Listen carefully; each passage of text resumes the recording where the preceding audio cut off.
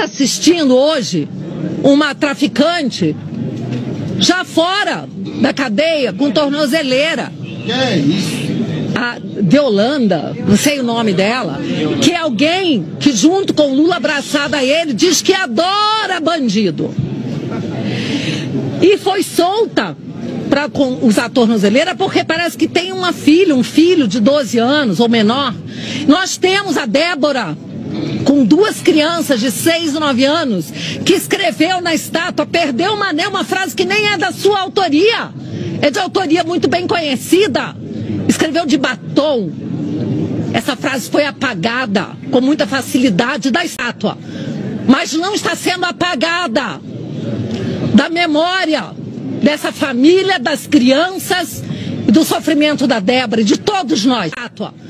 Mas não está sendo apagada da memória dessa família, das crianças e do sofrimento da Débora e de todos nós.